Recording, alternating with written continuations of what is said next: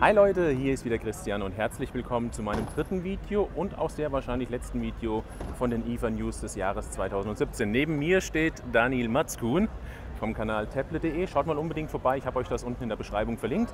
Und wir wollen euch eine kurze Zusammenfassung über die letzten IFA-Tage, eigentlich von, sagen wir mal, Donnerstag, Freitag und Samstag geben.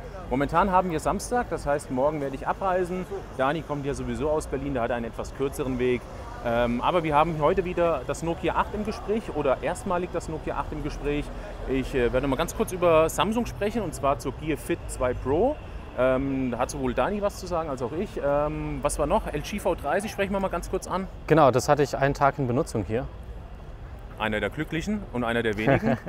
Und äh, was war der nächste Termin? Teufel heute Morgen. Heute Morgen war ich bei Teufel in Berlin im Bikini Store ähm, oder Bikini, heißt das Bikini Store? Bikini Berlin heißt es. Bikini Berlin. Da haben die ihren äh, Flagship Store. Da konnte ich mir die neuen Produkte anschauen und ich würde sagen, wir fangen mit Nokia 8 an.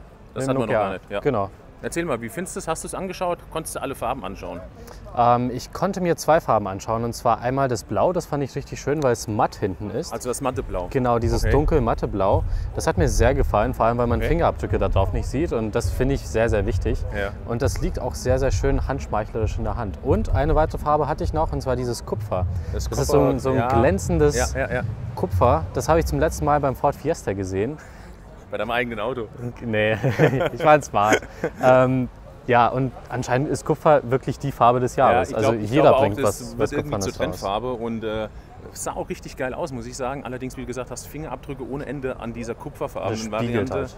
Und es spiegelt halt. Generell von der Performance war ich erstmal, kommt ja ein Snapdragon 835, glaube ich, Mhm. zum Einsatz. Die Performance war auf den ersten Blick gut. Ähm, kommt Stock Android zum Einsatz oder annähernd Stock Android. Ähm, und die haben oder haben viel Wert darauf gelegt, die Kamera bzw. Kamera-Features zu betonen, dass man gleichzeitig mit Front- und Rückkamera irgendwie Fotos und Videos machen kann. Genau, also die Funktion heißt Bofi. Das heißt also ein Selfie, both vorne und hinten. ja, ich weiß es nicht. Also für mich persönlich ist es nicht so das spannende Feature. Ja. Es ist cool, klar, dann kann man halt eben den Vordergrund und halt sich selber nochmal ähm, fotografieren. Und was auch für einige vielleicht spannend sein wird, ist, man kann damit äh, auf Facebook und auf YouTube live gehen. Stimmt, richtig, das, das haben die gezeigt. Aber gebe ich dir vollkommen recht, also die Funktion ähm, Bothy, die fand ich irgendwie, das ist eine spielerische Funktion.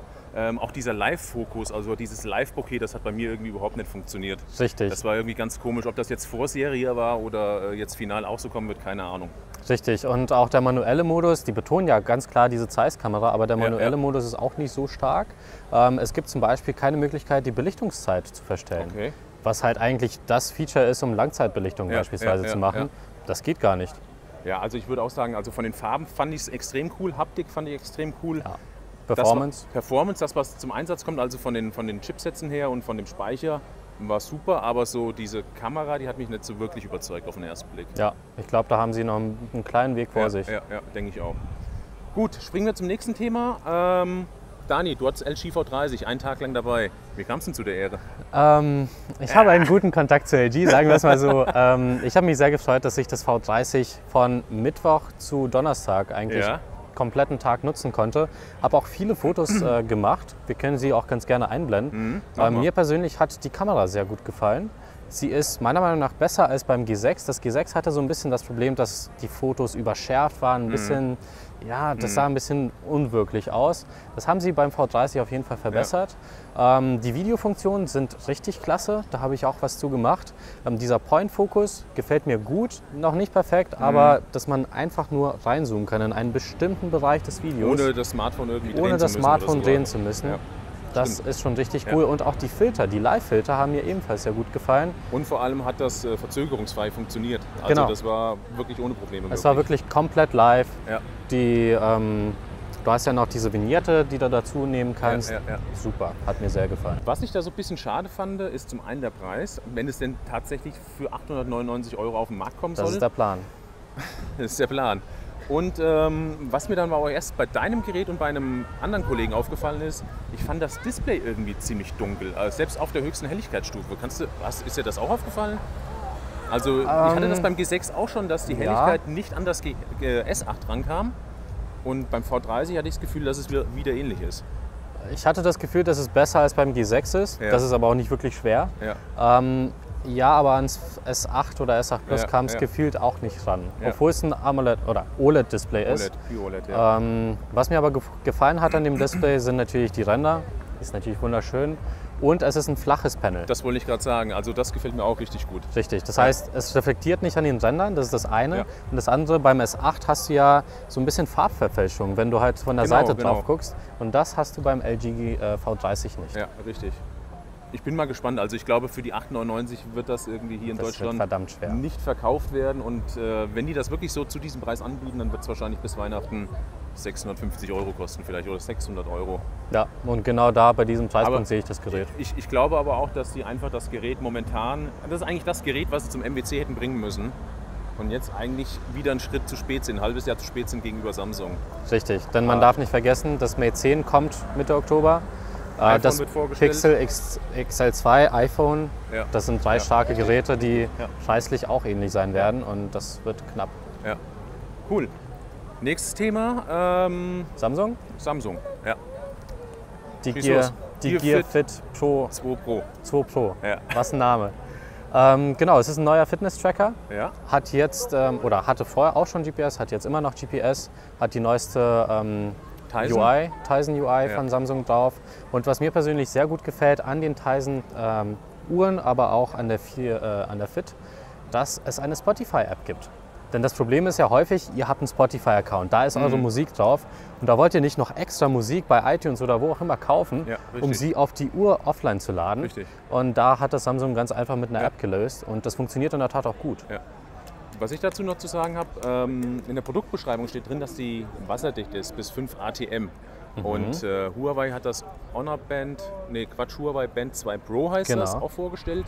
Mit der gleichen ähm, Gerätespezifikation, also 5 ATM. Mhm. Und da habe ich wirklich mal nachgelesen, 5 ATM bedeutet nicht unbedingt, dass du schwimmen kannst damit, sondern Sondern? sondern es zum gelegentlichen Schwimmen einsetzen kannst. Und Samsung spezifiziert das aber dahingehend, dass sie sagen, es ist 5 ATM, also bis zu eigentlich 50 Meter wasserdicht, Mhm. ähm, plus, dass man dazu auch noch schwimmen kann. Also die sagen, dass die Dichtungen gegen Salz, gegen Chlorwasser und Süßwasser sowieso geschützt sind. Von daher, ich bin mal bei, äh, bei Huawei gespannt, da habe ich auch mal nachgefragt, ähm, wie das da aussieht mit der Wasserdichtigkeit, ob das dann tatsächlich auch wirklich zum regelmäßigen Schwimmen Ja. genutzt werden kann, weil das ist ja eigentlich der Sinn dahinter.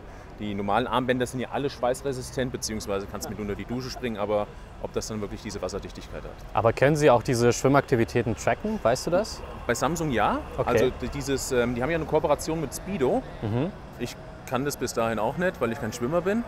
Doch, Äh. doch, die machen immer so richtig schöne, schöne ähm, Unterwäsche für Ja, Schwimmer. hast du die auch an? Heute nicht, heute nicht.